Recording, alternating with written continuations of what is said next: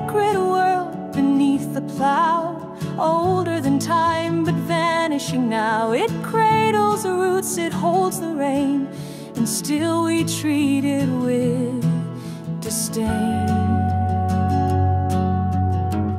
It feeds the fields, it feeds us all. It breathes the spring, it bears the fall. Where carbon sleeps and creatures crawl, it's the oldest story ever told it all. Call soil the elixir of life, more than dirt, more than strife. It fights the flame, it calms the flood, it turns our sweat into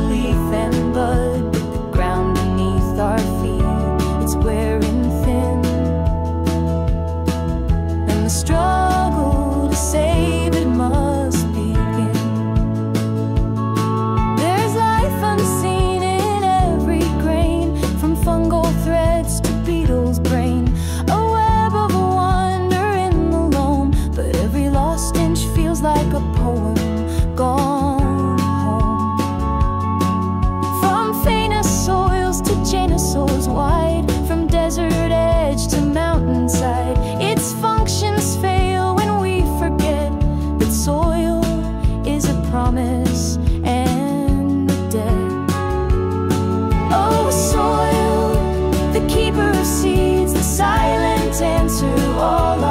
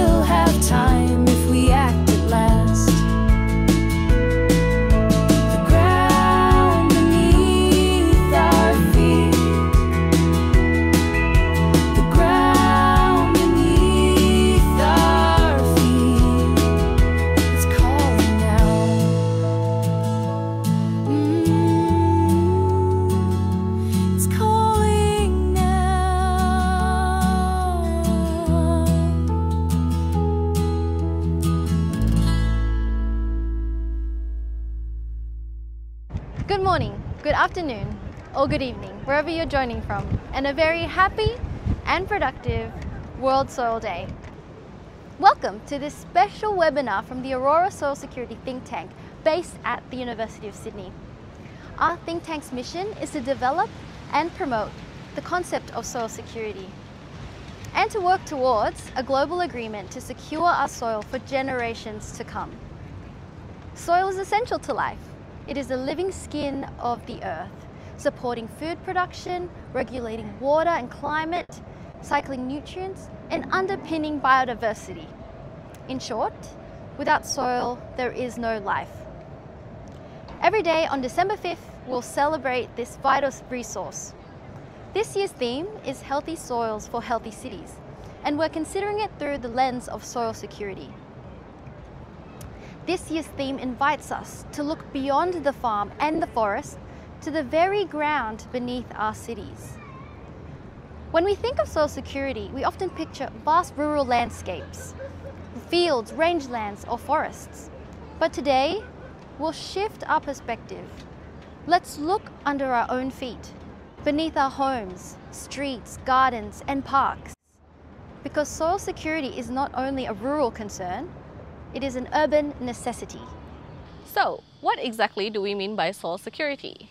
The concept was first introduced by Professor Alex McBratney and his colleagues in 2014. It is an assessment framework to safeguard soil ability to perform various roles from now and into the future. It integrates more than just the biophysical aspects of the soil, but also the economical, social, and governance aspects, built around five key dimensions, which is also known as the five C's of soil security. The first C refers to capacity, what the soil can do. It relates to the, its inherent properties and potential. The second C is the condition. Can the soil continue to perform its role? How is it currently performing? The third C refers to capital. What is the value of the soil? By recognizing soil as an economical asset, we begin to understand that it's worth protecting. C is connectivity. What bonds do people have with soil? The linkages between soil and humanity. The last C, or the fifth C, is the codification. What policies or laws exist for soil?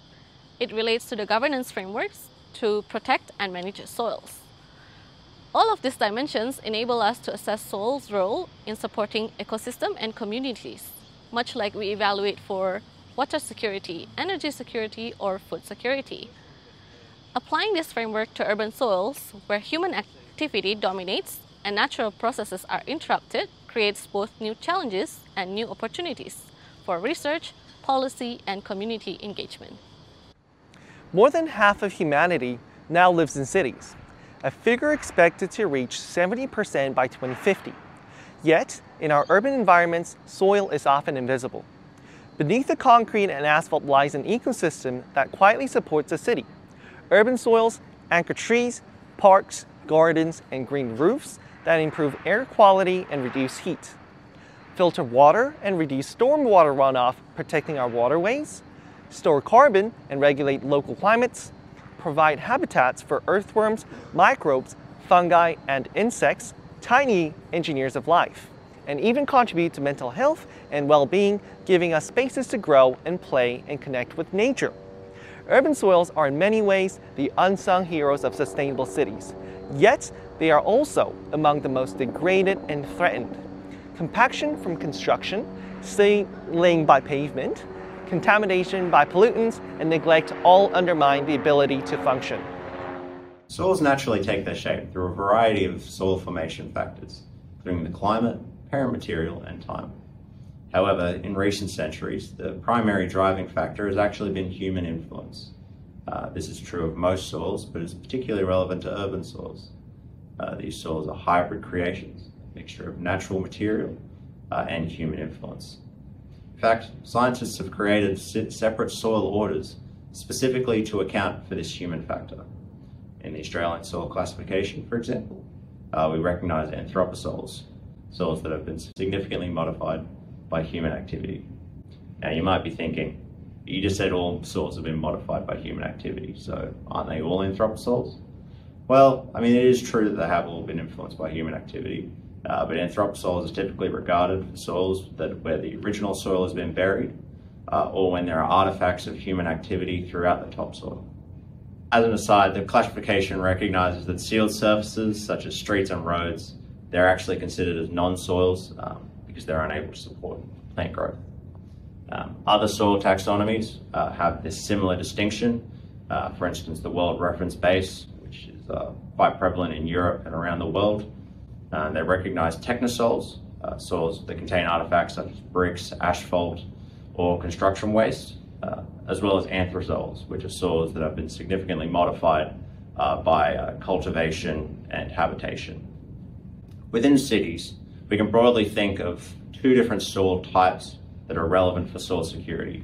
The first is phenosols, which are surface soils that have been reshaped or created by human activity. You've got garden beds, landscaped parks, and sports fields. These are often shaped by human activity through various factors such as uh, drainage pipes, uh, compost, or gravel uh, to allow soil to better serve its role. Um, this role is generally selected based on the value that we assign it to society at the time, what is most suitable for it. Um, and generally, there's some consideration given to ensure that the right soil is selected for the right role. Um, for instance, looking at the site of the 2000 Olympics, um, historically it was a site of salt marsh and wetlands uh, that had been used as a dumping ground in the 1960s um, for human, for household and industrial waste. Obviously, it was repurposed and restored to facilitate the 2000 Olympics, and it's now a flourishing outdoor space for communities to connect with nature and the soil. Um, the second soil type relevant for soil security is the genosol, uh, which are naturally developed, uh, naturally developed soils that persist within the city, uh, independent of human activity. Um, these soils carry ecological and historical value, uh, and they deserve active conservation. Um, these soils can then inform and provide indications into the capacity of the associated phenosol. Additionally, we can then assess the condition of the phenosol by comparing its properties and attributes to the associated genosol. So looking back at the Sydney 2000 Olympics, uh, the Olympic Park, sorry, um, we know that much of the sites around that area uh, have been significantly degraded, they've been restored, they've been changed.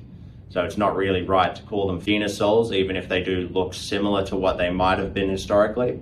Um, but looking in adjacent suburbs where there hasn't been this significant human modification, um, we can see that they probably might provide a better indication of what the genosol is. Obviously, both phenosols and genosols they provide distinct functions uh, and they facilitate different pressures. Uh, recognizing this diversity helps us uh, to better recognize soil cities as not soilless landscapes, but as mosaics of living, evolving soils. Uh, understanding the nature is the first steps towards their protection. So what's your take? To secure soils, we first need to understand the current state and potential of those soils and now there's this thing called the soil security framework uh, that can be used to evaluate urban soils. What are those dimensions? Using the soil security framework, we evaluate urban soils across five dimensions. Capacity, what can these soils do? Can they support plant growth, infiltration, and microbial life? What is their texture, structure, nutrient status, and drainage characteristics? Some urban soils have surprising resilience. Others may need a little rehabilitation to restore even basic functions. Condition. How are they performing now? Are they compacted by traffic and construction? Are they contaminated by uh, with heavy metals, hydrocarbons, pollutants?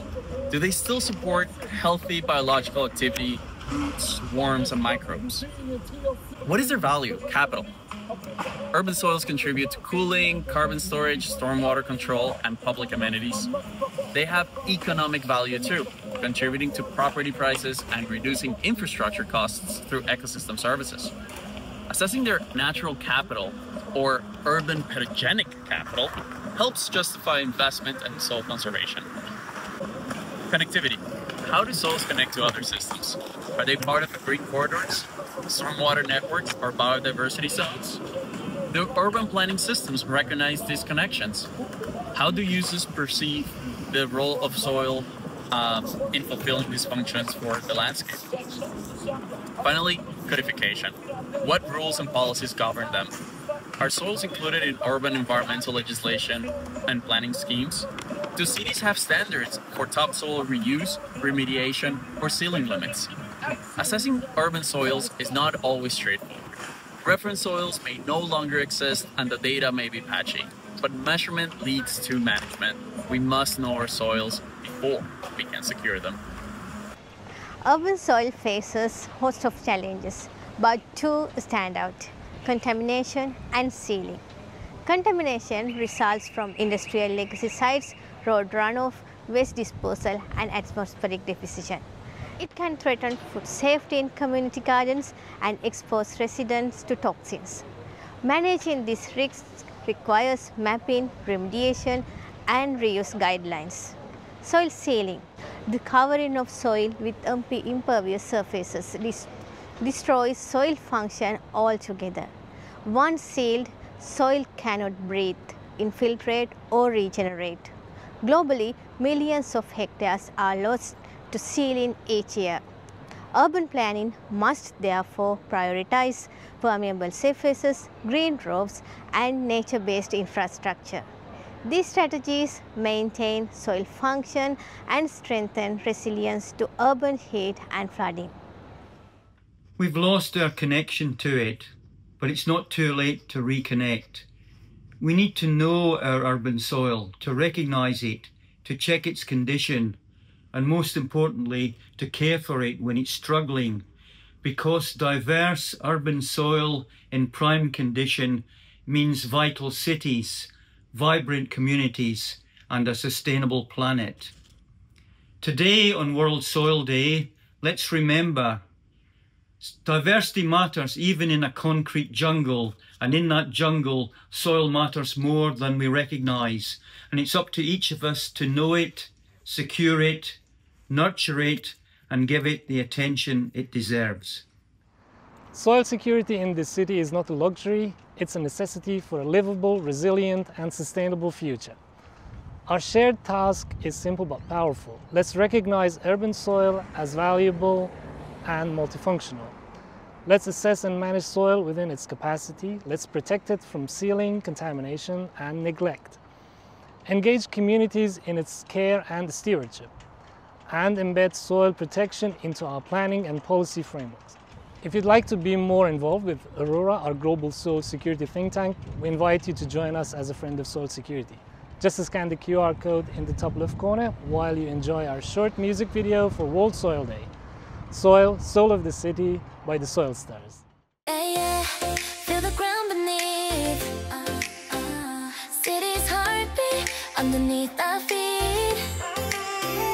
Some clean,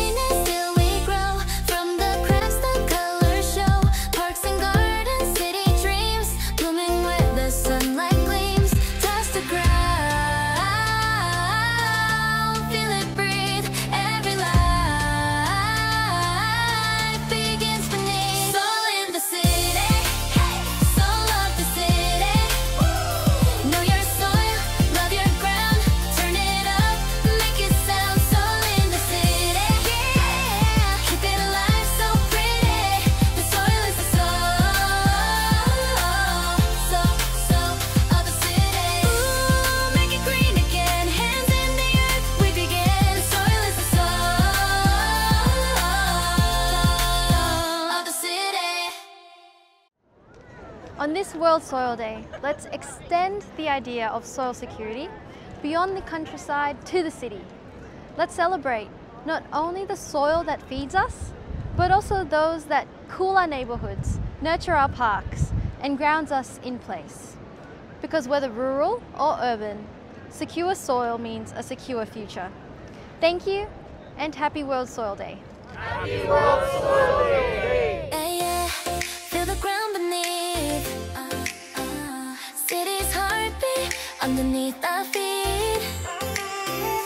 clean, some tainted,